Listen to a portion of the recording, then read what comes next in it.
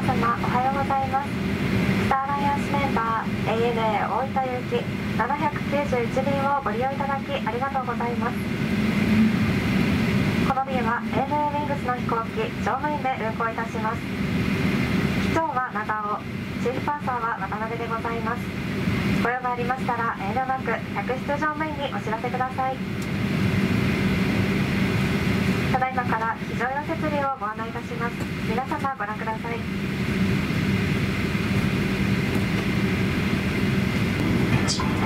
手荷物は座席の上の物入れまたは前の座席の下に収納してください Please place your baggage in the overhead compartment or under the seat in front of you. 脱出の妨げとなるためすいます電子タバコもお控えください Smoking and the use of e-cigarettes is prohibited in the cabin, including in the aisle and lavatory.